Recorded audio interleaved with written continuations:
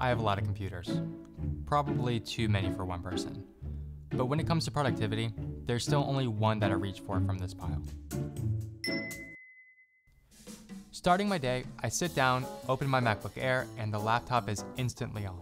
The Apple Watch unlocks my profile before I even see the password screen, and it immediately takes me to my desktop.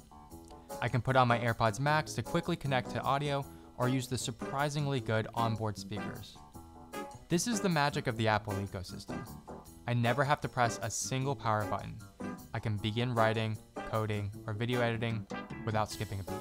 You know, this machine still really surprises me. The previous generation of the MacBook Air could not have handled some of the software that I need to use on a daily basis. For me, it's kind of unthinkable that I could use, by definition, an Ultrabook for these heavier applications. The reality is, regardless of the laptop that you use, they're all capable of basic computing tasks. But there are a few things that set the MacBook Air apart from the rest. And it starts with the M1 chip. Now, you've probably already heard all the rave reviews about the new Apple Silicon processors by now. They are incredibly fast and efficient, and it's at the heart of what makes these new MacBooks, iPads, and iMacs so special. This one tightly integrated chip houses the CPU, GPU, RAM, and neural engine. The trade off of the user upgradability provides huge performance gains with less power consumption. But there are some limitations. When working with multiple streams of 4K footage and layering effects, the whole system kind of comes to a crawl. So, to finish the job, I need to switch over to the MacBook Pro 16. Some effects just benefit from the raw performance from the dedicated GPU and more RAM I have in the 16 inch. But it's impressive that I'm even referencing this use case with the MacBook Air. The fact that it can handle most basic 4K video editing by itself is already amazing. I will add that my unit does only have 8 gigs of unified memory. I believe a lot of these issues would have actually been resolved had I opted for the 16 gigs of unified memory uh, when purchasing. Nonetheless, if you're not interested in using heavier applications with this computer, it's not likely that you'll have any issues with the performance. And if you are, then I would probably recommend the MacBook Pro 13, which has even better performance thanks to its onboard cooling fans and I'd probably configure that with 16 gigs of onboard memory. Still, my graphic design and web development software works without a hitch. Visual Studio Code, Photoshop, Illustrator, Adobe XD, along with many others, all have native M1 support. And in many cases, run faster than they did on Intel devices. The webcam quality is decent as well, but more importantly, the microphone is good, especially for a built in. I will say though, every time I open up my MacBook Pro, I realize how much I miss that larger 16 inch display. As much as I like the portability of the Air, I would still take the larger screen size. Hopefully, Apple delivers the rumored 14 inch and 16 inch MacBook Pros with Apple Silicon soon. However, the 16 by 10 aspect ratio is still my favorite for productivity, and the Retina resolution makes text and images look sharp. Overall, a fantastic screen.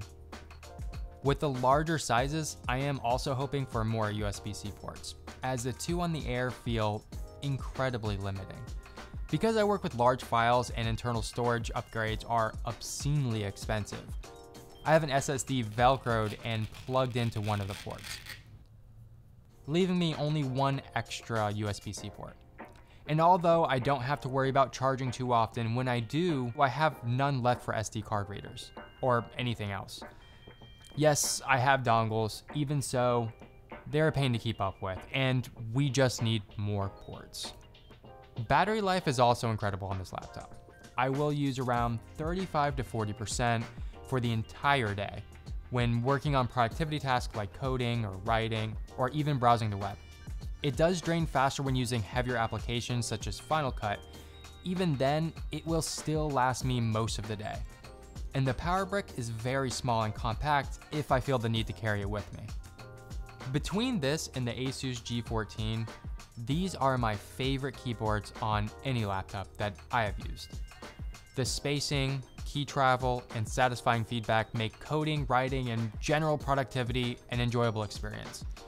On the top right is the power button that also doubles as a Touch ID fingerprint reader. It's used to unlock the device, make payments through Apple Pay, and autofill passwords or addresses. It's very convenient to have. and Apple's trackpads are still the best on any laptop.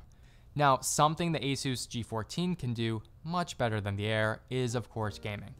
Now, when it comes to Apple Arcade games, something simple, just to pass the time, the Air actually does really great. It runs Apple Arcade games at very playable frame rates and resolutions. Just don't expect to play long sessions of more demanding games on a MacBook Air. It's just not designed to do that. If gaming is a priority for you and you want a laptop that is light and portable, I would recommend checking out my Asus G14 review. I'll leave a link in the video description. Now, when it comes to these heavier applications, I am starting to reach the limits of the M1 in the fanless design. So I am really looking forward to the new 16 inch refresh in hopes that it will round out all of my needs. But for anyone who is not working with higher resolution video or similar intensive tasks, the MacBook Air is still an easy recommendation.